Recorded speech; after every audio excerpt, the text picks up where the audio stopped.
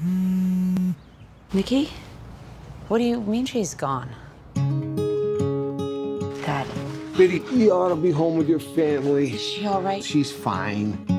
Is that my baby? I've been telling him for years, you gotta figure out what you want to do with mom when the time comes, because we all know how this thing works. I'm sorry. I ought to be here more often. You got family, you got girls, you got a husband. You're here plenty. She was trying to go home. She thinks she's still a little girl, and she can't figure out why she's stuck here. Who's that? Oh, what is that? You know who that is? He's my boyfriend. See? You got any idea what I got going on here? I get to pick up mom and pop's dry clean and take them to church. Grandma drank the holy water. Well, at least she's hydrated. I'm not putting your mother in a nursing home. You know, everyone thinks being alone is so bad. You know what's lonely?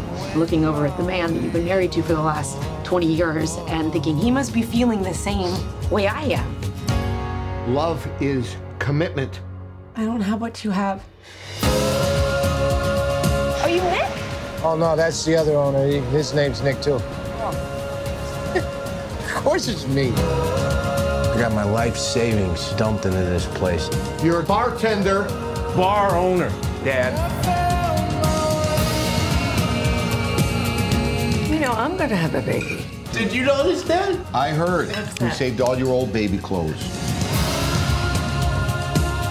Just gonna forget everything. For better or worse, sickness and health, death do you part.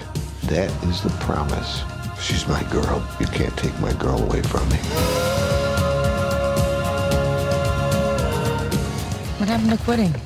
Life, Betty. Life happened to quitting.